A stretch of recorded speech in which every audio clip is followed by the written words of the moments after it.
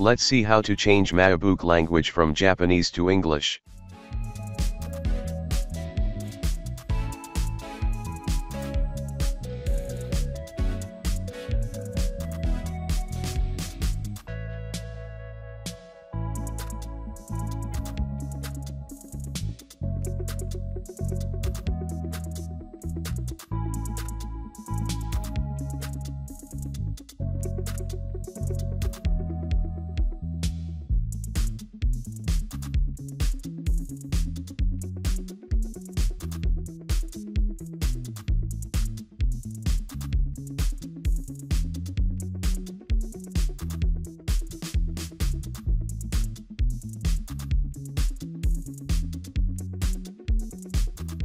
At this point your MacBook will restart and the language will change to English.